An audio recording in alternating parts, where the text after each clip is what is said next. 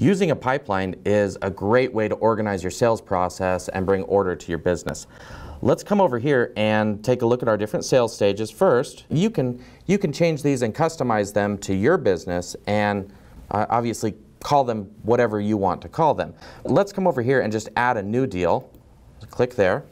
And we can name this deal first. So let's call this one new sale. You call it whatever you want. Sometimes you'll name it after a person or a company. And then we can add a contact.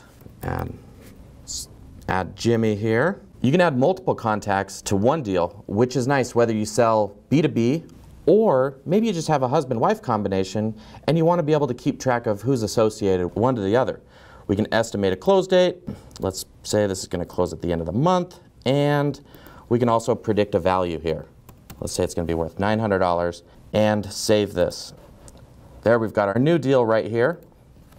As you can see here, we can keep track of all the activity that's associated with this deal, add notes, or send emails to any contact on the record. We can also add other members of our team.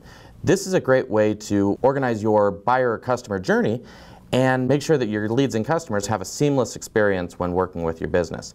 As you can see, when we open up the deal here, we can add notes, send emails to any contact on the record, or add another member of your team. An example of why you may want to add other members of your team is maybe you have a salesperson and an account manager, and you want them both on that deal to create a seamless and great experience for your prospects and your customers.